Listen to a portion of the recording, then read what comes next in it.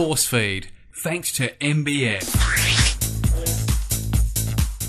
Okay, my first favourite thing is uh, on my body, so I need to stand up and give you a bit of a look see. Um, I've got two tats, two tats on me at the moment. Uh, one is on my bicep and it relates to being a wallaby. Uh, it's my wallaby number. Uh, the other tat is here. Um, it's a Chinese symbol for a bear and uh, it means uh, what I call my wife. I call my wife Bear, and um, yeah, she's my second favourite thing. So she's here today. Say hello to the camera. Say hello to everybody. Hello, camera.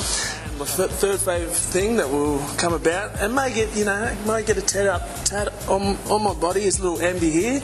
Uh, little Ambi, we went through IVF, and uh, this is our little joy, bundle of joy. So we can't wait to wait, can't wait to see him or her come out on the uh, 20th of June. Yeah, and this is my last favourite thing. Uh, his name is Snaps. Um, I don't, you know, you know, just I like I like to keep him on the leash like this, but sometimes he does snap. Um, how you going, mate? You all right? Yeah, follows me everywhere.